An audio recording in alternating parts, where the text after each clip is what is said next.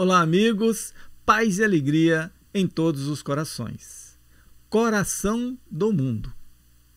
Este é o nosso tema de hoje. O Brasil será o celeiro do mundo. Tenho certeza que muitos de vocês já ouviram essa frase aí desde a infância, né? Porque desde criança nós ouvimos essa promessa. E hoje, nós sabendo do potencial agrícola e também da pecuária do Brasil, não resta dúvida, temos certeza que será assim e já está sendo. Contudo, nós não podemos ficar ligados apenas nas riquezas minerais, vegetais e animais, porque o fator mais importante para qualquer nação é o fator espiritual. Isso mesmo, não é só para o ser humano, não, para a pátria também. Né? Não, não vão ser as riquezas minerais que tornarão os homens melhores. Isso é certo e sim a transformação moral. É isso é que faz o homem melhorar e, consequentemente, também a pátria melhorar. E o Brasil ele surgiu no cenário da Terra com uma missão. Qual a missão? De suprir as necessidades materiais de países deficitários. Isso é que a espiritualidade passa para nós, nessas áreas que eles não têm. Contudo, seu maior compromisso é o de levar a consolação para todo o planeta além de ser o celeiro material, como nós falamos. Além de ser isso, ser também o maior farol de luzes espirituais para todos. Esta é uma missão do Brasil. Como nós sabemos disso? Na obra Brasil, Coração do Mundo, Pátria do Evangelho, de Chico Xavier e do Espírito Humberto de Campos, esse tema é muito bem esclarecido, ou seja, a missão da pátria do Cruzeiro, que é o Brasil. E nesta obra ali nós encontramos narrado que Jesus, é, espiritualmente, é claro, veio ao orbe terreno com o desejo de observar os progressos de sua doutrina. Só que ele constatou, em loco, né, que o planeta estava mergulhado na escuridão. Inclusive, tinham negligenciado até os ensinamentos do último apóstolo que desceu à terra enviado por Jesus, que foi Francisco de Assis. Por quê?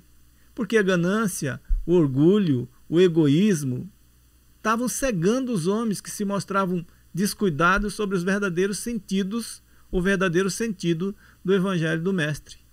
Então Jesus externa ali para eles é, que tão somente o caminho do sofrimento poderia modificar aquela situação. Mas tinha ali junto com Jesus Eliel, que é um dos mensageiros encarregados dos problemas sociológicos da terra. E Eliel apresentou-lhe o recanto planetário na América do Sul, de onde poderia ser visto o símbolo da redenção humana.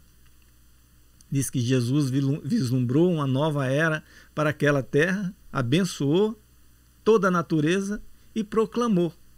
Proclamou o seguinte: Para esta terra maravilhosa e bendita será transplantada a árvore do meu evangelho de piedade e de amor.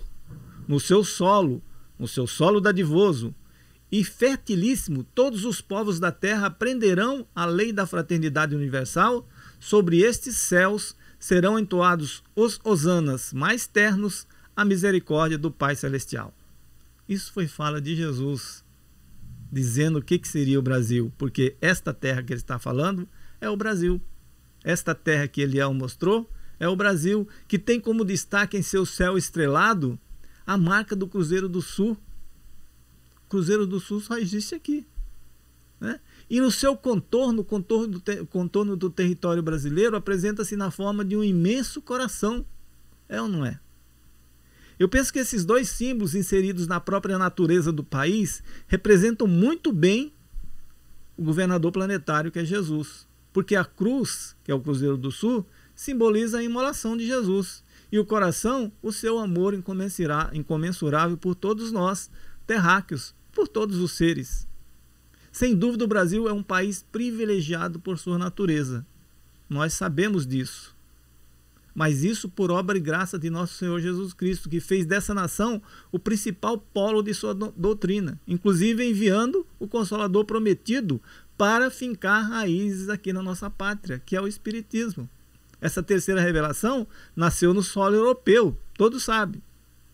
Mas logo emigrou para o Brasil, que é o maior país cristão em, por, em proporção, já que em número fica atrás apenas dos Estados Unidos, que os Estados Unidos têm muito mais, uma população bem maior. Entretanto, quando se trata de espiritismo, fica em primeiro lugar, que tem como incumbência levar o cristianismo redivivo para todo mundo. Essa é uma missão do Brasil. Consequentemente, nossa missão. E nos dias atuais, existem núcleos da doutrina espírita espalhados por quase todos os países. Todos os países do nosso mundo. E isso deve-se em grande parte aos espíritas que imigraram, né?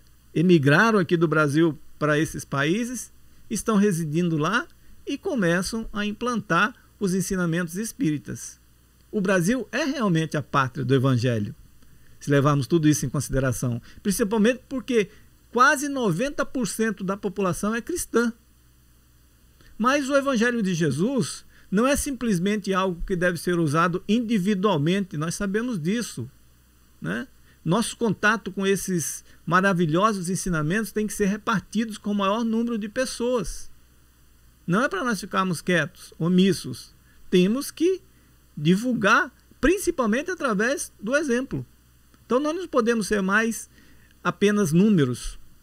Temos que demonstrar nossa fraternidade, nossa caridade, nosso amor aos semelhantes indistintamente. Porque agindo assim é que o Brasil se consolidará como, como sendo o coração do mundo.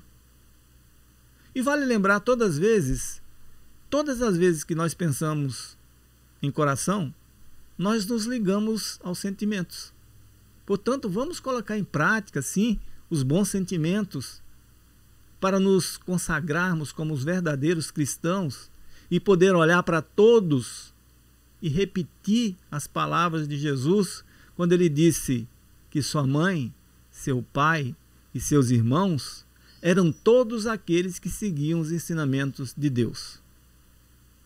É agindo assim que elevaremos nosso país à condição real de coração do mundo paz e alegria em todos os corações, meus irmãos, e até a próxima.